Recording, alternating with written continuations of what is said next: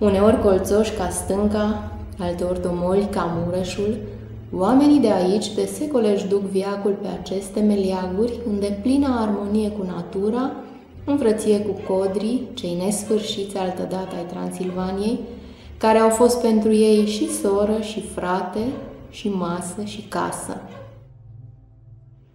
Și pentru că ardelenii aveau nevoie de un câine la vânătoare, Dumnezeu le-a dăruit copoiul ardelenesc, însă în marea lui înțelepciune și responsabilitate nu li l-a oferit pe tavă, ci din aluatul cel mai bun și cu semințele cele mai bune i-a lăsat să și-l plămădească singuri după nevoi.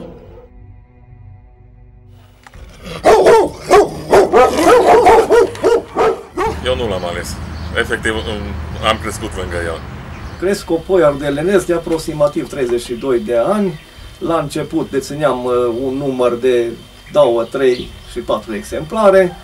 Momentan, în jur de 15. Miros ca și copoiul nu are niciun câine de vânătoare, părerea mea. Ionel Pop scria că toată lumea își laudă copoi și au zeci de rase de copoi, iar noi, unicul copoi care îl avem, îl hulim și îl interzicem la vânătoare. Cea mai mare, acum să nu fac reclamă la județul Alba, dar eu zic că județul Alba e printre cele mai recunoscut județi și județele limitrofe, Brașovul, Unedora, Sibiu, deci în zona Ardealului la noi să cresc copoi. Deci, sunt mulți, foarte mulți crescători la noi în zonă, care iubesc această rasă. Este foarte rezistent, este cel mai rezistent câine de vânătoare pe care îl cunosc.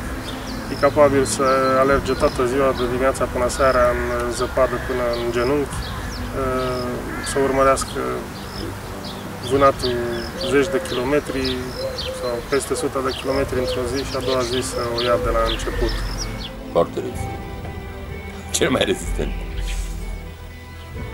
Haide, ăsta 24 din 24. Asta nu trebuie să obosească, să pui joc în mâine. Asta, dacă da de vânat ăsta nu mai lasă până ajunge la treilea a murit la șapte ani, omorât de mistreț în Domăcoș. Da, s-a sacrificat pentru mine. Face parte din categoria câinilor gonitori de la noi. Face și treaba de hărțuială la vânatul mare, la care ne interesează pe noi, în deosebi la mistreț, urs, și totodată el îl poți folosi și pentru urmărirea vânatului rănit. Deci îndeplinește mai multe condiții. Deci eu zic că copoiul ardelenesc ar trebui în final să fie arbitrat la clasa muncă. Deci copoiul ardelenesc, lăsați-l original cu măi.